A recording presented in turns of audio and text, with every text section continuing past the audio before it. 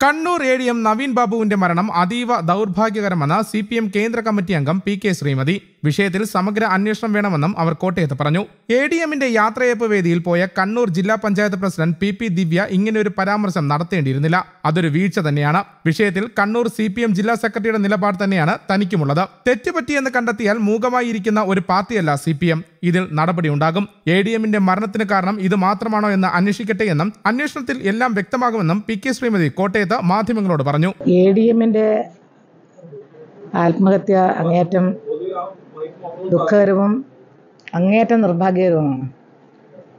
ഉയർന്ന ഔദ്യോഗിക തലത്തിലെ ഏറ്റവും ഉയർന്ന ഒരു പദവിയാണ് A D M additional district magistrate എന്ന് പറയുമ്പോൾ കേരളത്തിൽ വളരെ കുറച്ച് സ്ഥാനം മാത്രമേ ഉള്ളൂ പതിനാല് ജില്ലകളിൽ ഓരോ പോസ്റ്റ് അദ്ദേഹത്തെ പോലെ ആ സ്ഥാനത്തിരിക്കുന്ന ഒരു വ്യക്തി ആത്മഹത്യ ചെയ്തു എന്ന് പറയുമ്പോൾ കേട്ടപ്പോൾ തന്നെ അക്ഷരാർത്ഥത്തിൽ ഒരു വലിയ വേദനയും ഷോക്കും ആയിപ്പോയി.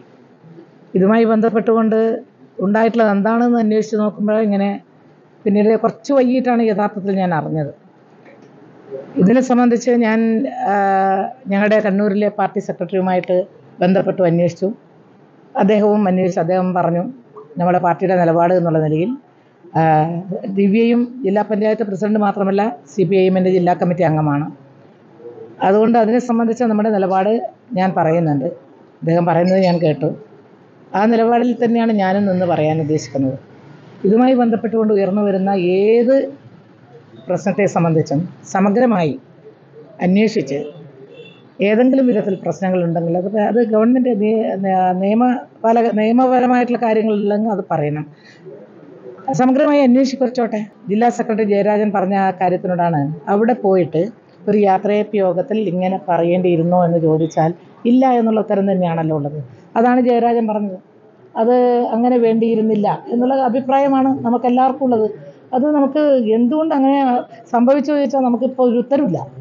അങ്ങനെ വന്നുപോയി അത് വേണ്ടിയിരുന്നില്ല എന്നുള്ളതാണ് പാർട്ടിയുടെ അഭിപ്രായമെന്ന് അവിടെ ചർച്ച ചെയ്ത് ജില്ലാ സെക്രട്ടറിയുടെ അഭിപ്രായം മാത്രമായിട്ടല്ല ജില്ലാ അവിടുത്തെ പാർട്ടിയുടെ മൊത്തം അഭിപ്രായം എന്നുള്ള നിലയിൽ അങ്ങനെ വേണ്ടിയിരുന്നില്ല. അത് ആ രൂപത്തിൽ ആ സന്ദർഭത്തിൽ അത് അവിടെ പറയേണ്ടിയിരുന്നില്ല. ഇതിനെ സംബന്ധിച്ച് ഈ ഇതിനെ സംബന്ധിച്ച് ഇങ്ങനെ വന്നിരിക്കുന്ന സാഹചര്യത്തിൽ സമഗ്രമായിട്ടുള്ള ഒരു അന്വേഷണം വേണം. അന്വേഷിക്കട്ടെ എന്നുള്ളതാണ്.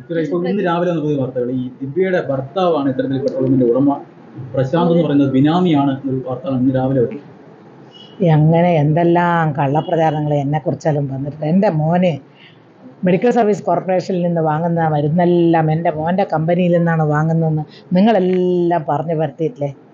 എന്നിട്ട് ആ കേസ് ഇപ്പം നമ്മുടെ ഗോപാലകൃഷ്ണൻ ബി ജെ പിയുടെ നേതാവ് ഗോപാലകൃഷ്ണനെതിരെ നടന്നുകൊണ്ടിരിക്കുമ്പോൾ കണ്ണൂർ അവസാനം അദ്ദേഹം വന്ന് പറഞ്ഞു ജഡ്ജിയുടെ മുൻപ് പറഞ്ഞു എനിക്ക് തെറ്റ് പറ്റിയതാണ് ആ തെറ്റ് ഏറ്റു പറയാൻ ഞാൻ തയ്യാറാണ്. അങ്ങനെ മീഡിയേറ്റർ വെച്ച് അങ്ങനെ പറഞ്ഞ് ഒരു ചാനലിലും അദ്ദേഹം പറഞ്ഞു ഒരു സാന്ദർഭികമായിട്ട് പറയാണ് ഞാൻ ശ്രീമതി ടീച്ചറുടെ മകനെക്കുറിച്ച് പറഞ്ഞത് തെറ്റായിപ്പോയി. അത്രയും പോരാന്നാണ് എന്റെ അഭിപ്രായം. അതുകൊണ്ട് ഞാൻ ഇപ്പോഴും അത് സ്ക്വാഷ് ചെയ്തിട്ടില്ല ആ കേസ്. എന്ന് പറഞ്ഞാൽ ഒരു വസ്തുതക്ക് നിരക്കാത്ത കാര്യം. വേണ്ട വേറൊരു ഉദാഹരണം പറയാം. പി ടി തോമസ് അന്തരിച്ചു പോയ എന്റെ ഒരു സഹോദരനാണ്. എന്റെ സഹപ്രവർത്തകനായിരുന്നു നിയമസഭയിൽ. കോവിഡ് കാലത്ത് ആരോ പറഞ്ഞത്രേ ഒരു നമ്പ്യാരുടേതാണ് ഓക്സിജൻ പ്ലാന്റ് എന്ന്. എറണാകുളം പ്രസ് ക്ലബിൽ വെച്ചിട്ട് അദ്ദേഹം നടത്തിയ ഒരു പത്രസമ്മേളനമുണ്ട്. അദ്ദേഹം പറഞ്ഞു മുൻ ആരോഗ്യമന്ത്രി ശ്രീമതി ടീച്ചറുടെ മകന് ഓക്സിജൻ പ്ലാന്റ് ഉണ്ട്. ആ പ്ലാന്റിൽ നിർമ്മിക്കുന്ന ഓക്സിജൻ ഇങ്ങനെ പിന്നെ എന്താന്ന് പറയാ? സൂക്ഷിച്ചു വെക്കുന്നു കരിഞ്ചന്തയിൽ വെക്കാൻ അത് അന്വേഷിക്കണം.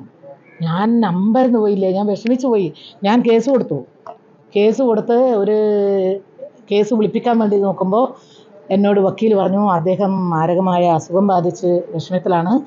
ഞാൻ അദ്ദേഹത്തോട് പറഞ്ഞു എന്നാൽ ഇപ്പോൾ കേസെടുക്കണ്ട കാരണം ഇങ്ങനെയുള്ള ഒരു അവസരത്തിൽ നമ്മൾ കേസെടുക്കുന്നത് അദ്ദേഹത്തെ വിളിപ്പിക്കുന്നത് ശരിയല്ല. പക്ഷേ രണ്ട് മാസം കഴിഞ്ഞപ്പോഴത്തേക്കും രണ്ടോ മൂന്നോ മാസം കഴിഞ്ഞപ്പോഴത്തേക്കും അദ്ദേഹം ഈ ലോകത്തുനിന്ന് പോയി. ആ കേസ് ഞാൻ ഡ്രോപ്പ് ചെയ്തു. പ്രിയപ്പെട്ട എന്റെ പത്രമാധ്യമ പ്രവർത്തകരോട് ഞാൻ പറയുന്നത് ഒരു ഒരു തരിമ്പെങ്കിലും അതിപ്പോൾ ഏതോ കണ്ണപുരത്തിലൊരു നമ്പ്യാരതാണെന്ന് അദ്ദേഹം തന്നെ വന്നിട്ട് പറഞ്ഞു. ഞാൻ എനിക്ക് പുലബന്ധം പോലുമില്ല.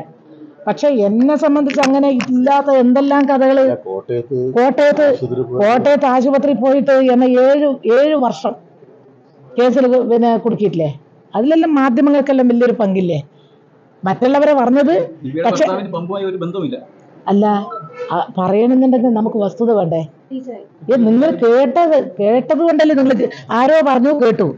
ഞാൻ കേട്ടത് അങ്ങനെയല്ല. ഞാൻ കേട്ടത് നെടുവാലൂര് ഉള്ള ഒരാളുടെ എന്താണ്? പ്രശാന്ത് അല്ലേ? പ്രശാന്ത്. എന്ന് പറയുന്ന ഒരാളുടേതാണ് എന്നാണ് ഞാൻ കേട്ടത്. ഞാൻ കേട്ടത്. കേട്ടതെന്ന് പറഞ്ഞാൽ ഞാൻ അവിടെ പാർട്ടിയിൽ നിന്ന് കേട്ടത്. അല്ലാണ്ട് മാധ്യമങ്ങളിൽ നിന്ന് വന്ന ഉടനെ നമുക്ക് പറയല്ലല്ലോ. ഞാൻ ജില്ലാ സെക്രട്ടറിയോട് ചോദിച്ചപ്പോൾ ഇങ്ങനെ ഒരു പ്രശാന്ത് എന്ന് പറയുന്ന ആളാണ്. അതുകൊണ്ട് എനിക്ക് പറയാൻ പറ്റി. അല്ലെങ്കിൽ നിങ്ങൾ പറയുന്നതിനനുസരിച്ച് എനിക്ക് പെട്ടെന്ന് പറയാൻ പറ്റില്ല. പറഞ്ഞപ്പോൾ ഇനി അത് അന്വേഷിച്ചോട്ടെ? അല്ലേ? നിങ്ങളിപ്പം പറഞ്ഞു ഇങ്ങനെ ആണ് അത് അന്വേഷിച്ചോട്ടെ? ഞങ്ങൾക്കൊരു തടസ്സമില്ല പാർട്ടിക്ക് വീഴ്ച ബോധ്യപ്പെട്ടാൽ നടപടി ഉണ്ടാവും? തെറ്റ് പറ്റിയെന്ന് പറഞ്ഞാൽ മറ്റു രാഷ്ട്രീയ പാർട്ടികളെ പോലെ മൂകമായിരിക്കുന്ന ഒരു പാർട്ടിയല്ല സി പി എം നമ്മൾ നമ്മളിപ്പം നമുക്ക് അങ്ങനെ നമ്മൾ പറയേണ്ടടുത്ത കാര്യങ്ങളെല്ലാം പറയും.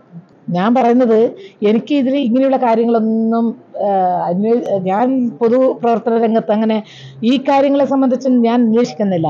പക്ഷെ ഉണ്ടായിട്ടുള്ള കാര്യത്തെ സംബന്ധിച്ച് അന്വേഷിച്ചപ്പോൾ ഇങ്ങനെ പറഞ്ഞിട്ടുണ്ട്. ഞാൻ ഉടനെ ചാനൽ ഞാൻ കഴിഞ്ഞ വാർത്ത വന്നതിന് ശേഷം ഞാൻ പിന്നീട് വാർത്ത കേട്ട എന്താണ് സംഭവം എന്ന്. അപ്പോൾ ജയരാജൻ പറഞ്ഞ ആ കാര്യം അതാണ്. അവിടെ വെച്ച് അങ്ങനെ പറയാൻ പാടില്ല. ഇന്ന് അദ്ദേഹം ജീവനോടെ ഇരുന്നേനെ. അപ്പൊ അത് ഒരു ആരോപണത്തിന്റെ പേരിൽ മാത്രമാണ് അദ്ദേഹത്തിന്റെ ജീവൻ നഷ്ടപ്പെട്ടിരിക്കുന്നത്. അപ്പൊ ഒരു ഒരു അല്ല ഇനി എന്തെങ്കിലും കാരണങ്ങൾ ഉണ്ടോ എന്നുള്ളത് അവരന്വേഷിക്കട്ടെ ഇതാണോ കാരണം?